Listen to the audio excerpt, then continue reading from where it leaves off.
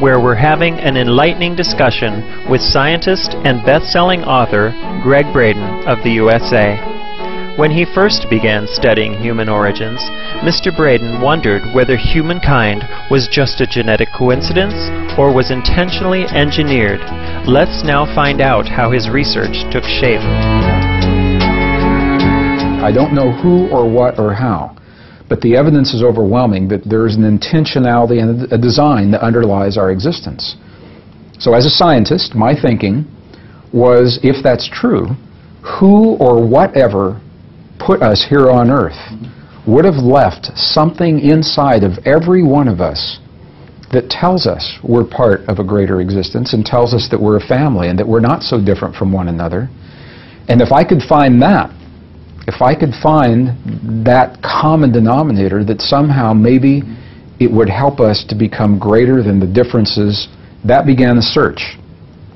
And I combined the science that I know of biology and history and ancient language, linguistics, uh, genetics, uh, with the new science of computers that were now on my desktop. And Daryl, I'll tell you, I, I remember the very first time as a scientist that I had the opportunity to see the human genome, a piece of human DNA coded on my computer screen.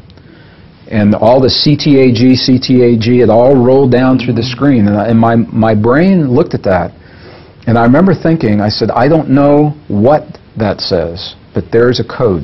There's a language. That DNA is a language. And whatever that language is, it's inside of me and it's inside of everyone that looks at it. And, and some intelligent being placed it there a long time ago. Using all the technology at his disposal, Mr. Braden then began searching for the message encoded in our DNA. And this led to a, a, research project using computers, the best science of today, and some of those ancient texts. And the bottom line is that what we discovered is every single ancient language, the letters of the language link to very precise numbers that have never changed. Mm -hmm. So whether we're talking um, about the Arabic language or the Hebrew language uh, or if we're talking about cuneiform and Sanskrit, uh, what are called the ancient core or the ancient root languages. There's a mysterious number that's always been linked to those letters, and nobody knows where the numbers came from. That was interesting to me. So through a process uh, that took many years, I came to understand that the numbers that represent the letter are also the numbers that represent the elements, what we call the elements on the periodic table yeah. of life and, and uh, a physical reality as we know it. So in other words, it is if the ancients, they didn't know about the periodic table of elements the way we do today, but they knew about the numbers that were represented. And when we make the connections between the letters of the ancient alphabets, the numbers they represent, those numbers, if we look at them on the periodic table, they happen to be precisely the elements that make the DNA in our bodies. Now, we have the ability to take the sequences of DNA in a cell and through those numbers link them to letters in ancient alphabets. And lo and behold, the letters spell words and the words have meaning. And this has led to a book that's entitled The God Code. It was released in, in the year 2004. Uh, what we know is that there is a message, an intentional message within uh, the DNA of all life. The message is uh, occurs in layers, and each layer has its own code that must be understood for that layer. And I'm still working on the deeper layers.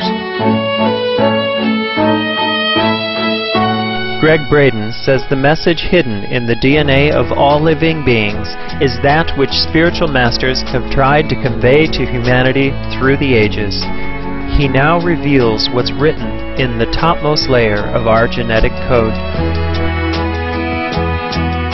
The top layer is one that we understand very well right now. The top layer in the DNA of all life literally, literally translates into the words God eternal within the body. God eternal within the body. We don't know who put that message there. We don't know exactly why it's there. But I can tell you that all I did was I followed the instructions in, uh, in a series of ancient texts following those languages, and I married that with the science of today, and, and this is what we found.